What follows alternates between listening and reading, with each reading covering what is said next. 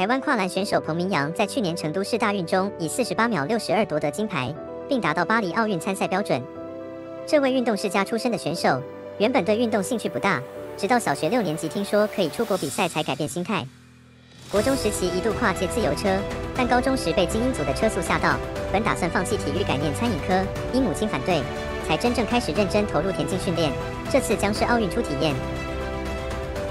集气集气。Alpacin 咖啡因洗发露与你一同为中华队加油。虽然去年因确诊影响了亚运表现，但彭明阳积极调整身体状况，并前往中国进行核心训练。他表示，目前技术和身体素质持续进步，肌肉量也有明显增加，目标是在巴黎奥运上至少打破全国纪录，甚至闯进决赛。对于提早取得奥运资格，他感到心情笃定，有更多时间准备和调整状态。他希望能成为第一个进入奥运田径决赛的台湾选手，并探索自己的极限。